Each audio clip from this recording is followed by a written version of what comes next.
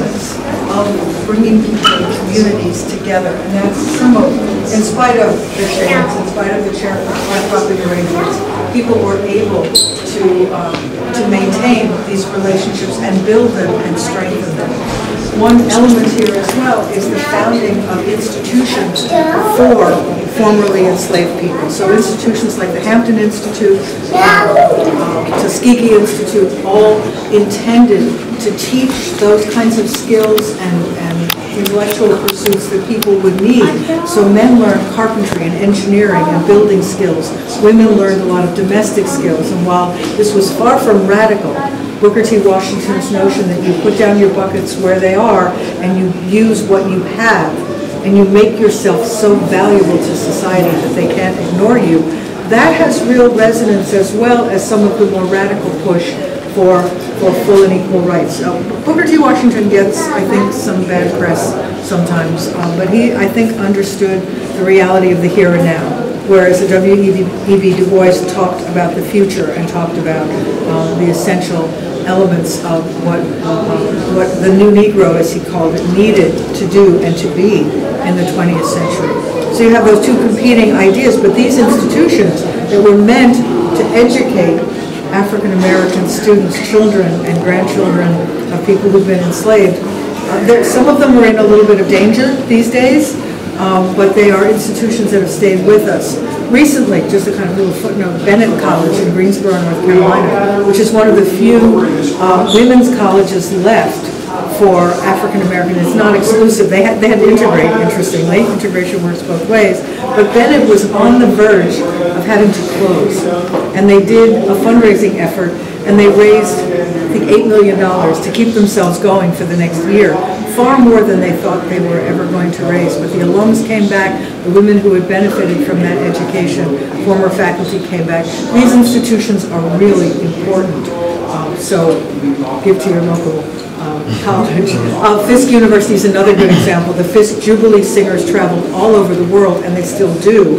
Um, and they sing for audiences to raise money for their school because uh, people work to keep the, the college in business. They they uh, clean the dorms, they uh, manicure the lawns, they do everything. They cook food in the kitchen uh, to keep tuition as low as possible. Um, so these institutions buy formerly enslaved people for black Americans, for African Americans were really very important. And they help push that toward that equality of education. So we can take a quick look here.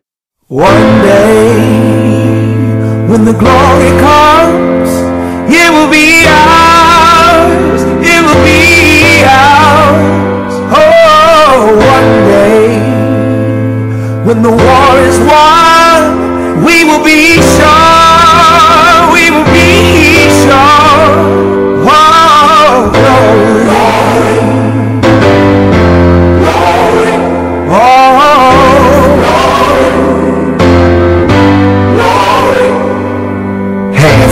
heavens, no man, no weapon.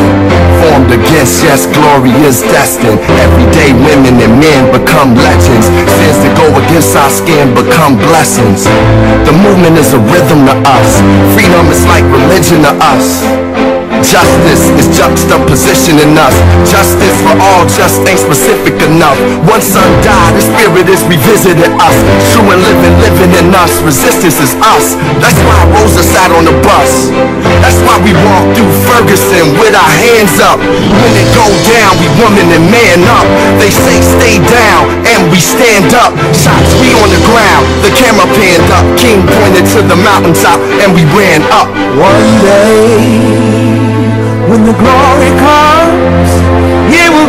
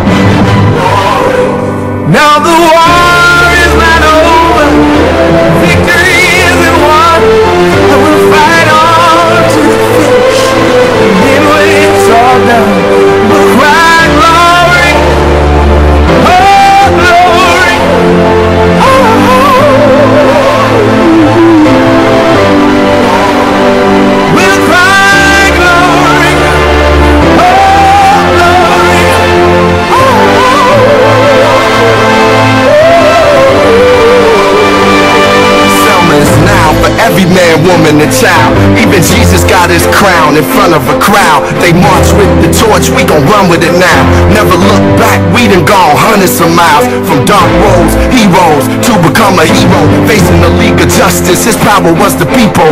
Enemy is lethal, a king became regal. Saw the face of Jim Crow under a bald ego, the biggest weapon. The idea in that room about how vagrancy laws, contract, during contract surety clauses, all of those Jim Crow laws are What is burst apart with the availability of jobs in the North. Um, People manage to avoid, manage to escape from Jim Crow because they have someplace to go. And where they go is north. They go to northern cities. They go to Detroit to work in the auto industry. They go to Chicago to work in the stockyards. They go to New York to work in a variety of industries. They settle in neighborhoods, much like white immigrants who come from Italy or Germany or Russia or Eastern Europe. They look for people from their own communities. You're from my, my town in Alabama, I know you. I'm gonna live near you. I don't know you, but I'll get to know you, right? Because we're starting a new community, new neighborhoods. And the idea of the, the closeness of people in urban areas and cities gives new life to this idea of creating challenges to Jim Crow, which is very, very difficult because legally, black homeowners would steal cars and neighborhoods, real estate agents would do blockbusting efforts and steer white families to other neighborhoods. It took a long time for that practice, It took till the 1940s for that practice to be declared illegal. Um, In many cities, we find Topeka, Kansas being a great example, where Linda Brown was from, school segregation was natural because of where people lived. And it wasn't that they chose to live uh, on one side of the railroad tracks or another, but either because of insurance regulations, legal regulations, or simply the ability to find one's people. You lived, you lived with people you were familiar with and comfortable with. But those patterns of segregation prevail in the cities. Um, I'm confusing here, but that's okay. Um, music, There's a quick Arts, dance Um, is really black I think they're about You around the a rest of the Nation. world, Woodrow Wilson called this a great film. He had it shown in the White House when he was president.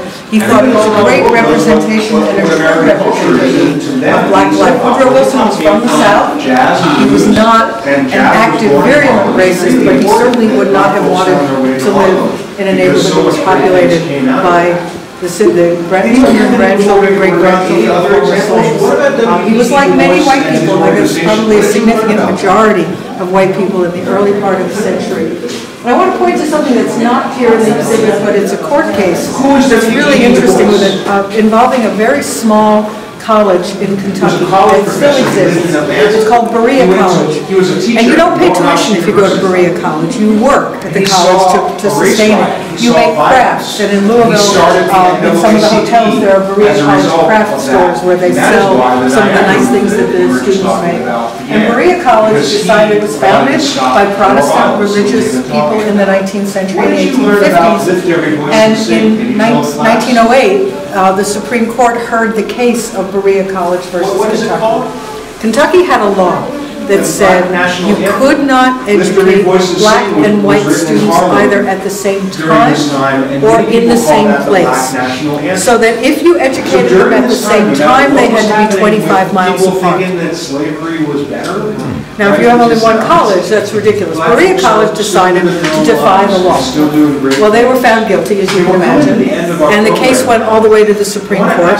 And the Supreme Court said what have you that the state of Kentucky could do whatever What it wanted. That Berea College, even though it was not a state school, it had a charter to operate according to the state. Yeah. And it was a creation of the state. And the state could create any laws it wanted Do you think to. So Berea College lost its court case, but has continued to be a bastion fighting for civil rights But- but in we all are Kentucky, in Louisville, right now for all of these years. And it still exists, and they still, that a lot of they still need money, and they still raise money to help uh, students. Nobody pays tuition, um, and black and white students do go to to So college together you're right. um, A lot less that's 1908, that that's really getting really well into the, into the And 20th century. At about the same be the time, we can look over here, we see the founding of an you learn a little bit organization called the people can lie to National. Association for the Advancement of Colored People. Something that isn't And true true. interestingly, that association was founded Anybody else learn anything about? White people, Oswald Garrison Villard, who was a newspaper guy, um,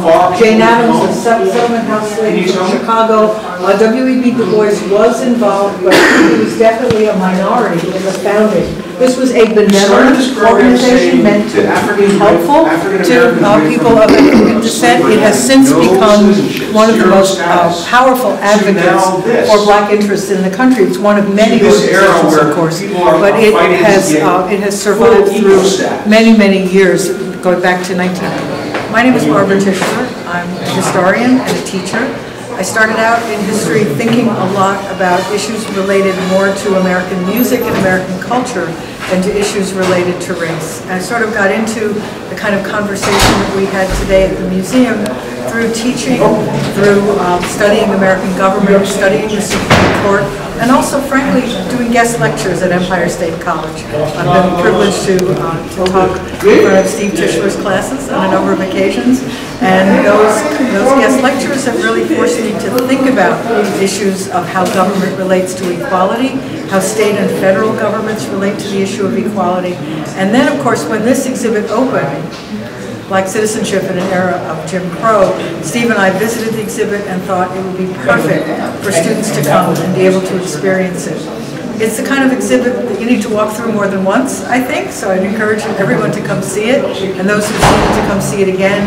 Um, My goal today was to provide a little bit of background um, and hopefully get people even more interested in history, and in a history that belongs to them, um, not to others.